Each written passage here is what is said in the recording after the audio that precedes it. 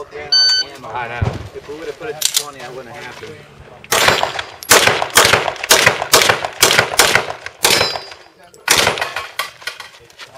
So uh,